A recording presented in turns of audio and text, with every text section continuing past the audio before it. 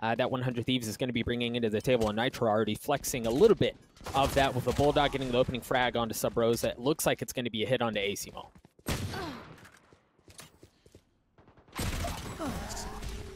Pretty standard stuff as they brute force their way in. Unfortunately for Asuna, Drone wins that challenge with the classic, and now it's all down to Hazed from range. Not around the we considering 100 Thieves are very comfortable in the position that they're at. When are TSM going to stop the bleeding? This round is going to be a little bit difficult. Oh, Wardell does have the operator, and he's one point away from the Blade Storm.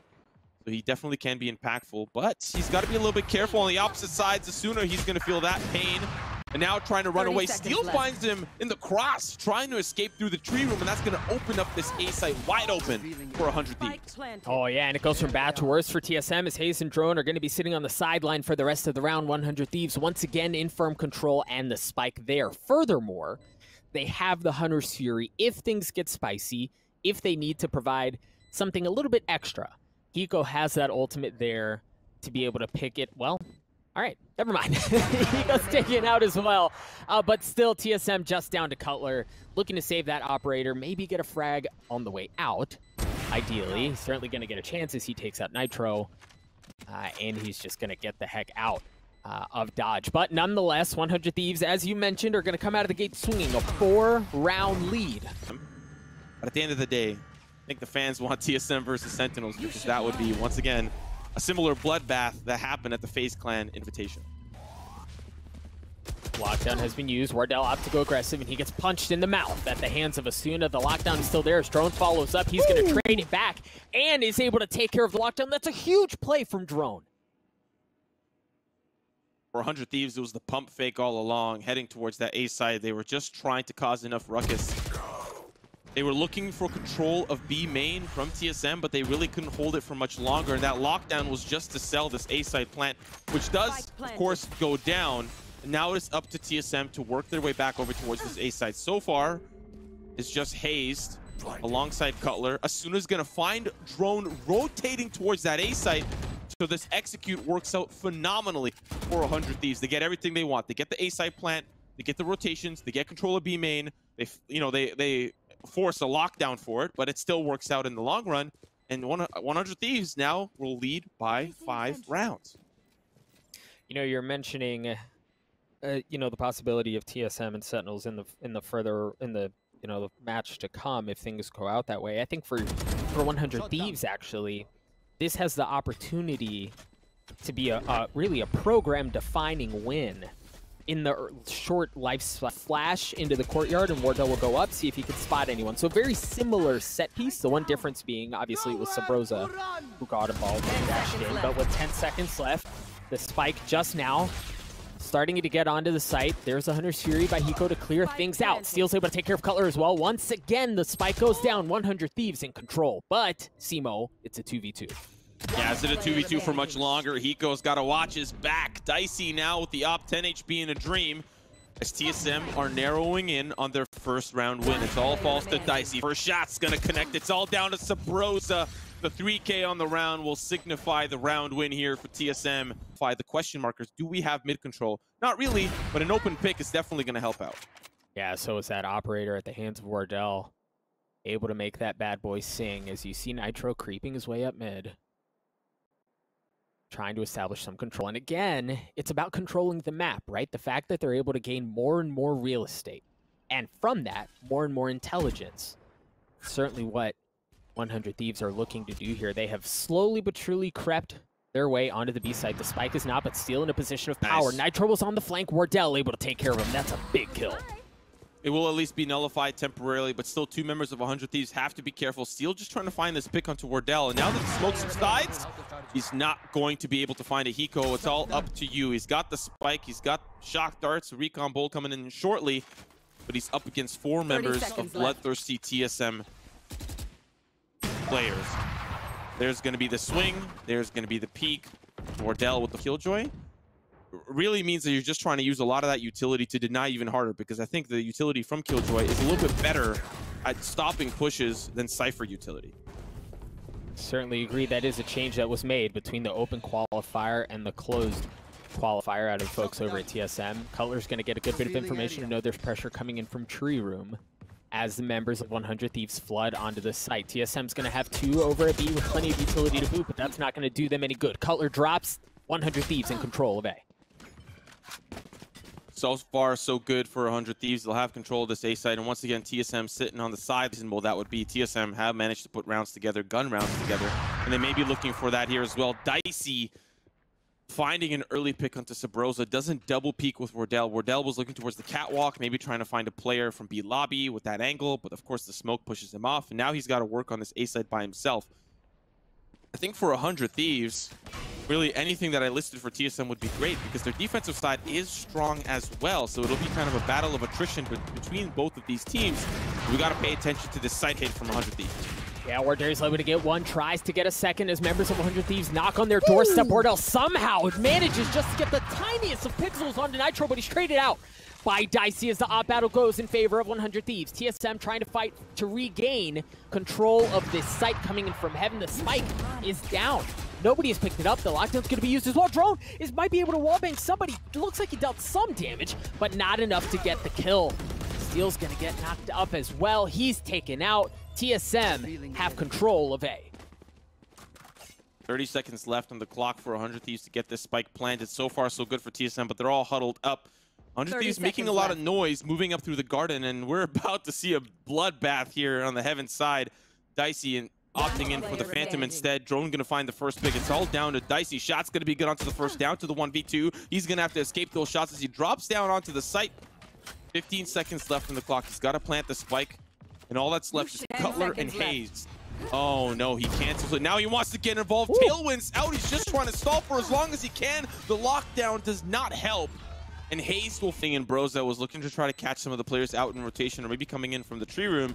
So the fact that TSM committed three members there means that they were committed to trying to fight those angles that 100 Thieves were looking oh. to benefit from. But now it's all down to the players on site. No Steel plobs and weaves in and out of the smoke. Gonna find Subroza. Now it's down to the 2v3. Hiko playing backside. Steel weathering the storm of the Nano Swarm. Now has to walk through the fire and the flames. He's gonna get taken down by Wardell. It's all down to Hiko spraying down the spike. Shock Dart in hand. Gonna likely take down maybe some of the life members here from TSM, but they're still alive. They're still defusing Wardell, waiting for Hiko to peek. The shot's gonna be good. He can't defuse. Wardell's gotta run, and 100 Thieves clutch the round. Hazed playing in that position. Wardell's going to be playing close as well. Aftershock actually pushes Asuna off. They're looking to fight this now. Hazed going to find one, but the Empress still on here for Asuna as he gets smoked off. The firefight will commence, or sorry, will subside. Steel has managed to find himself incredibly deep behind enemy lines. That recon dart will not get spotted, and they know that something's cooking. Subroza's been flanking all along, and guess what? Steel's been there as well, but it's all down to him. He's going to find two picks, but there are three members of TSM remaining. A very crazy round. A lot of flanks happening on TSM want to make this an expensive round for 100 Thieves. That's why they're playing so slow and trying to really cover all the angles here. They're going to come from the mid side. They're going to come from the B main side because the fact that they're together allows them to push in. Yeah. Steel going to find one with the turret. That's a little unfortunate. But now Steel's in a lot of trouble. Managing to actually take out the Nano Swarm. Now it's all up to Nitro to stop this push forward. Steel's going to eventually swing. Going to find three picks on the round. No Just mow them all down. No the for Steel as he protects private. Look, we, we just got to go forward. They funnel on to B, and then guess what? It was him the entire time. So very well played by Steel. I was actually just singing his praises, and then he comes out with an ace. That was perfect. Early looks at how 100 Thieves played this round. We saw some some of that same aggression as I highlighted. Dicey and Asuna peeking A main together. And guess who's there? Wardell, alongside the rest of TSM. Take out Asuna. Now it's all down to Dicey. That double peek worked so well against Cloud9. Time and time again, Ward uh, uh, TenZ, Relyks, they would all fall apart at these double peaks from 100 Thieves. The Young Guns really coming in. So now we have to pay attention to this A-side hit. Can the rest of 100 Thieves really stop this push? So far, it's working out as that's Dicey and Nitro Steel in the courtyard. We'll find Subroza down to the 2v1. It's all up to Cutler. He brings it down to a 1v1. Cutler versus Steel. Big brain versus other big brain. See who comes out on top. Whoa! No oh my goodness. They do have Hazed on the opposite side, was kind of peeking out for some info, but now he's starting to rotate over. It looks like that's where they want to go. On the other side, 100 Thieves is going to have Steel as the first line of defense, but the rest of the members of 100 Thieves have not rotated over. Now they're starting to creep their way. They have not fully bought, however, into the possibility of this being a B hit. Steel's gonna get some info. 30 seconds Oh, left. Oh, and Wardell's gonna go aggressive, and Steel gives it to him anyway. Right here. Through the flash, that's a huge pick for 100 Thieves. Oh my goodness, now they're going to try to continue to push him off. They will eventually find him, but it's traded away by Hiko. What a play there from 100 Thieves. Drone gets taken down at 23, and that's the 100 Thieves barreling down the defender's spawn. Got to take it round by round if they even want a chance at closing out this map. 100 Thieves, they can bleed a round or two or one or three, and they'll be sitting fine. And it starts off in favor of 100 Thieves this round with Subroza falling early to the knives of Dicey. Well, and you heard Wardell use the Blade Storm at the same time. So early kill, as you said, going in favor of Dicey 100 Thieves with map presence, with personnel advantage. Right now, and TSM are a bit scattered across the map. They haven't fully invested on anything. Oh. Wardell's going to spot Oh. one and is able to take care of Dicey from up top. What a play. Yeah, that's going to definitely answer back with the frag onto Subroza. Really, it's just been Wardell and Subroza facing off against Dicey and Asuna, or Asuna, however you want to pronounce it. And the fact that Wardell finds a, an answer pick for Subroza falling is super important. Steel now has to face this lockdown. Fortunately for him, it, it, it actually gets destroyed. Not only that, but it didn't even cover him in the first place. Shock Dart's going to take out Hazed. Steel just trying to hold the angle with the Bulldog, but unfortunately, he's not going to let it too far off the leash. Down to the 3v2. TSM forcing 100 Thieves into a retake position. Yeah, TSM is not fully healthy left. either, so this certainly isn't out of the realms of possible. The Rolling Thunder has been used drone with the third kill on the round, certainly almost securing the With utility, Nitro trying to help out with the paranoia, Oh, but Steel's like, no, no, I'm not ready to leave quite yet. So Bros Subroza gonna fall. The cheeky shock dart Oh, from no. Hiko, 30 but Steel in a seconds great position. Shot out the drone. It's not gonna land onto oh. Wardell. They'll be able to take him down, and they'll answer back with the pick on the A side as well. Down to the 3v3, 100 Thieves in the retake. Spike TSM manages to get on there. Despite attempted heroics from Steel and are able to get the spike down as well. No ultimates to keep in mind here as TSM has assumed their post-plant positions. 100 Thieves is going to be spreading out their resources a bit to try to apply pressure from a couple of different areas of the map. Hazed with the Nanoswarm trying to bite things off to push them back to create some space. There's the Lear Wardell. Looked like he was going to try to get someone. It's actually Asuna. He's able to take care of Hazed, the 3v2 in favor of 100 Thieves as TSM continues. out that he's located over there. Hiko now going to start to make his way back over. Subroza waiting for the cross. You see him positioned around the courtyard. He's waiting for Hiko to make his way through the B site, but he goes all the way back around. And so now Subroza's like, okay, by now he should have crossed. Now I'm going to start to get involved. And he finds the frag. Hazed has got to make his way all the way back towards the A side. Thankfully, he'll be there in time. Now it's down to the 1v1. 17 HP up against what I assume is close within that range. No shock dart here for Hiko, so he can't play for time. But Hazed has this planted in a perfect spot. Hiko thinks it's planted for long, but Oh now gosh, the he's defuse comes it. through. Oh my gosh, no sticking way. it. Hazed thought slow down the pace of the analysis and really see what 100 Thieves can do in that following gun round. This is obviously not going to be one that I think they're going to be able to really pack a punch, but down. after that second round, 100 Thieves could not really find a whole lot of success from the pushes here from TSM. We're looking at the B side execute. Smokes are starting to go down. Players are starting to fall for 100 Thieves. And they get onto their onto this site really with relative ease. Down to two final players. They're likely going to be the next to fall. Spike is planting. Spike. You know, if you're 100 Thieves, you're really starting to think about that next round. We'll have to hold that thought as Dicey's going to find one at least early. Hiko will send that shock dart through, but with four members with Phantom, with TSM, I don't imagine it's going to be a very easy hill to overcome. It all breaks down to Hiko. He's going to get sprayed. He's going to get pre-fight. Give presence towards the seaside. It's really just a ring around the rosy of who can who can pull who off of what site first. Dicey finding that pick really opens things up, though, for 100 Thieves. And I think for 100 Thieves, the important thing there was not seeing anything on the initial run it back did not result in them swinging everything. But what Wow. did swing is Subroza. He sneaks his way in through Garage. He's able to get two big kills there. You know, I was kind of keeping that in, in, in the peripheral vision. The fact that 100 Thieves had committed so much to the A side and then were starting to pull it back, it gave Subroza a lot of time since they were very passive around the center of the map. Now we're seeing the plant start to go down, or at least momentarily it will. They're waiting for that Hunter's Fury to, to finally finish. And now it's the 3v4 retake. Still doable for 100 Thieves, but it's going to be difficult considering TSM have managed to get to themselves into perfect positions. Look at this paranoia ready from Oh, Subroza. If Hazed is going to fall here. He's going to be able to swing hard, and he is going to try. Well, unfortunately, he didn't swing. The paranoia does come through. He needs support there from Cutler down the long side. The shot's going to start to come through. The Classic's going to send him down. It's all up to Wardell alongside Cutler. Yeah, you hear the pinks coming out on where the spike is. They begin to defuse the spike, and the Hunter's Fury's there. The operator from Wardell is there as well, but Dicey actually gets the best of him. Cutler, however, was able to take care of Asuna. A 2v1, Dicey trying to stick it. Cutler's gonna have to go aggressive. Cutler somehow gets the shot, but Hiko trying to defuse it. He's gonna be able to get back on it and defuse the spike. That one At least they have a lot of presence here from 100 Thieves. They found that early pick onto Subroza. They find another pick onto Hazed. Dicey really keeping TSM at bay. Now the flash is going to make matters worse for Wardell. Asuna backs up. And now it's just down Cutler and Drone. Make that just Drone as now Asuna is about to go in. He's going to use the fire to heal himself up. Finds himself in a gun duel between himself and Drone.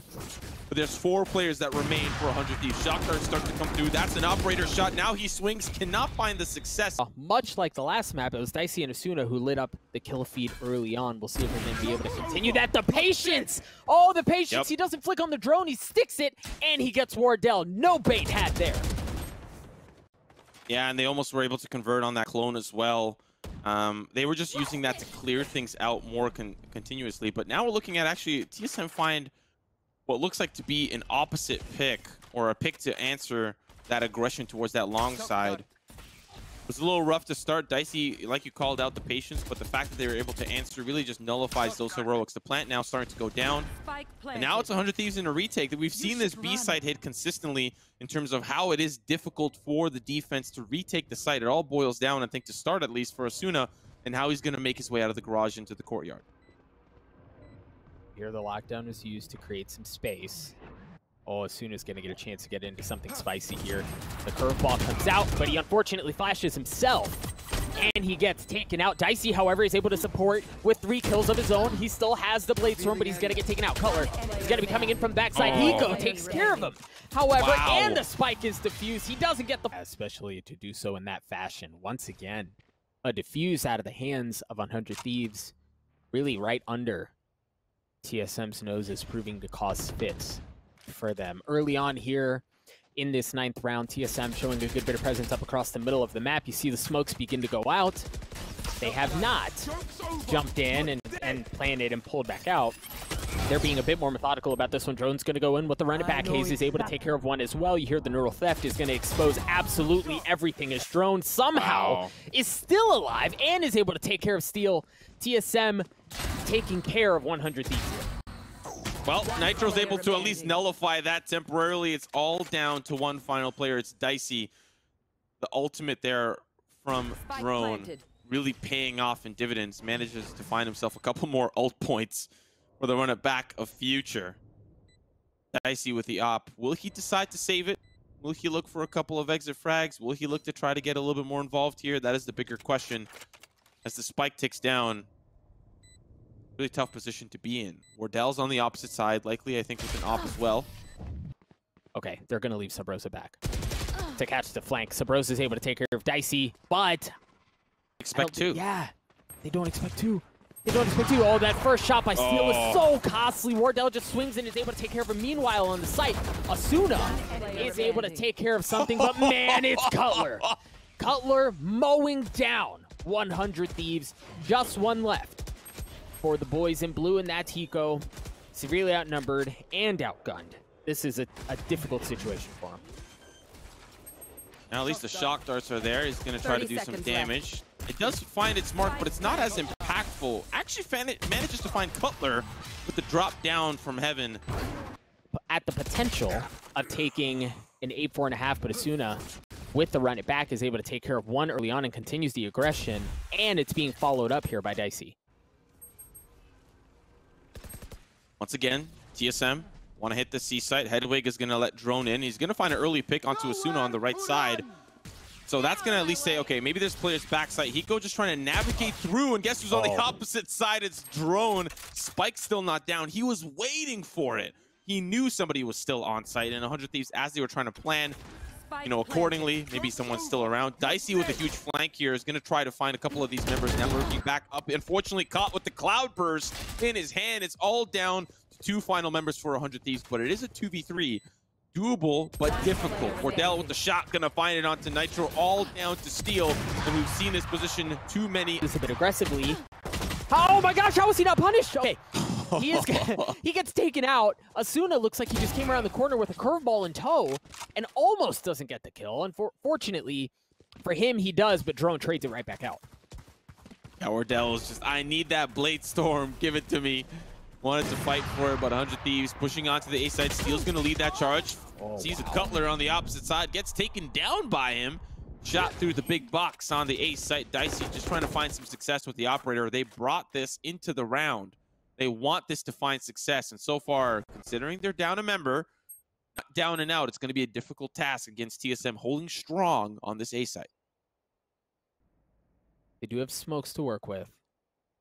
So there are some options, but TSM does as well. And we're already seeing some of that come out. Nitro going to use some of that cover to gain a little bit more real estate across the A side of the map. No cheeky flanks coming around at least quite yet.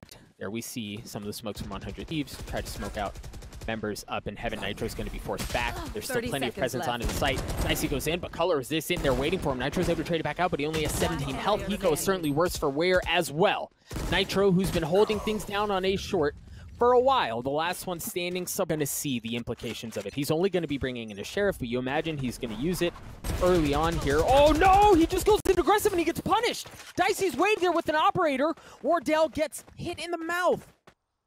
It, it go, uh, honestly, the paranoia goes a little south. Subroza now actually teleports back towards the attacker spawn. Steel is looking for him. He's Oh. hunting, and Subroza will punish the investigation of the crime scene. It's all down to the 3v3. Subroza's going to be playing point, likely looking maybe for a flank. He does know that 100 Thieves did come from that side, so a flank may be a little bit more difficult to deal with. And they're going to use Hedwig to spot him out. Great presence of mind. They have to deal with Subroza because he's a problem. He's always a problem. And now it's all down to two final members, Drone and Cutler. They're pushing in. They find Nitro down to the 2v2. Dicey's gotten op, and he's going to be holding it down long. First, the clone's dissipating. Now it's down to Cutler and Drone. They might try to defuse. They might try to at least flash them off the angle. So far, it's not working out. That's a Hunter's Fury. Hiko's, Hiko's like, yeah, you think I'm going to let you defuse the spike? No. Drone. And it's going to be very difficult for 100 Thieves to push. And so now they're going to execute on both sites at the same Wow. time. This smoke doesn't give a lot of information to TSM. They don't know if they've crossed. They don't know if they've come through. And now it's all up to Nitro to get back onto the Oh. site, help them out. And Wardell's like, uh-oh, I know. Oh. I know Oh. what's going on. We usually see him land those. We usually see him land those. Nitro's going to take him down. Drone's going to play point. He'll find Hiko. It's a 4v4 retake for TSM. Yeah, but they know where drone is. The spike has gone down. The operator is sitting just right in front of Dicey. He has the Phantom to work with right now. But you see members of 100 Thieves start to pull away from the site, knowing that drone can be a problem if left unchecked. First one's going to peek. It's going to back off. Meanwhile, on the site, Cutler's able to take care of Nitro. Drone finally drops at the hands of Asuna. Now they can turn their attention over onto the site. So Rose Oh. is there on the flank. He's able to take care of Steel. No 100 Thieves just down to two members left. One Hazed gets remaining. taken out as well. And oh my gosh, TSM do it. They take the site back. They defuse the spike, and we're going to be knotted up at 10 apiece. These senses tingling, telling him that there might be some action. And of course, there's also a smoke down. They don't see action towards the long side. No smokes, no nothing. They don't see action towards the sea long side. So they're anticipating a cheeky play. Sabros is ready for it, and now it's all down to this unfortunate spot where the spike has kind of lent itself. The paranoia will help at least dissuade from retrieving it. Now they'll start to bring it back with the 4v5. TSM start out strong. No options, no options anywhere across the map for 100 Thieves. B didn't work. They managed to recover the spike. I think there might be some action towards the sewer side. In the meantime, Sabros is in a position to deny the rotate, the fast rotate towards the C site. So 100 Thieves, they don't have a lot of time to act because they need to. This is, you know, a map that they could clean up. Steel and Dicey gonna find two. Wardell's out of commission. They're gonna find another. Psych, they won't. It's all down to the 2v2 Nitro alongside this compadre Hiko. I've got to decide where they want to get this spike down. Plenty was invested over by A. It looks like there still might be more than over. Drone is going to be the first line of defense. Oh, defense. no. Unfortunately, he gets taken out. That's going to give 100 Thieves full license to rotate away. They're going to have the numbers advantage. I don't even know if Cutler w- wants, or excuse me, I don't even know if Hazed wants this at this point. He's got 17 health. He's severely outnumbered.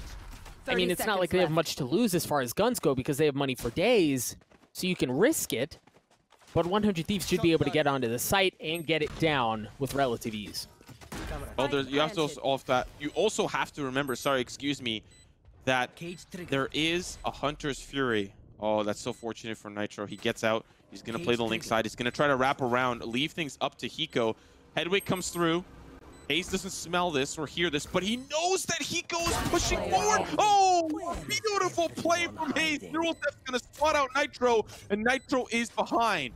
It's all down to Hazed. 17 HP up against the 1 HP Nitro. They're playing cat and mouse, but Nitro finds it.